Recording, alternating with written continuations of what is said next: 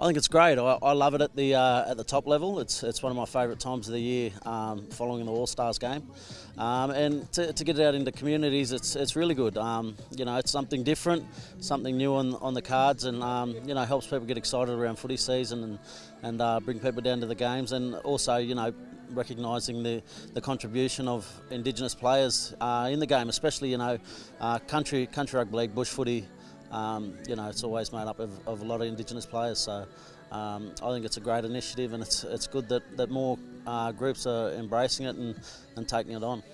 Oh, it's a great initiative. I think that uh, it, would be great if every group could uh, adopt something like that. Uh, I think it's very important. We've got a lot of guys uh, that are Indigenous that play uh, rugby league in the in the bush areas, uh, and it's a great way to celebrate their contribution to the game. I think it's um, it's an awesome um, thing to do. You know, the Indigenous All Stars was a great concept. Then you know, just to adapt it in the country lifestyle, in the country competitions is, um, you know, it's another great step towards you know rugby league and you know. Um, showcasing Indigenous, you know, talent out there. So. I think it's a terrific concept, Adam, and uh, you know, it's doing a lot to bring uh, the, the, rugby league to light in terms of um, the, the, country rugby league, but also those groups. Uh, They've got a lot of Indigenous uh, people playing in the groups, and it does, does a, little bit for uh, the reconciliation process as well as bringing you know the Indigenous, and non-Indigenous communities together in those uh, those particular regions. But you know we'd like to see a few more uh, of the groups take the, the concept on board and maybe uh, you know host a game of uh, that, that, magnitude in the future.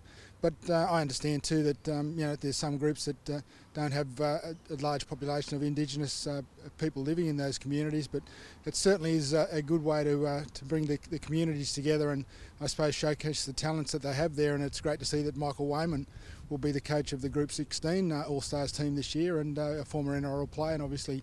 Uh, one of the icons of the Dragons in, in, more recent years, but um, guys like that of that calibre and that nature are, are, going to be great for the, the communities and, and the groups that they represent.